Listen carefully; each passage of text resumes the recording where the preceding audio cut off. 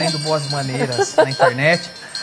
A Fátima Scarpa está sempre fazendo um ótimo conteúdo. Vamos ver um pouquinho.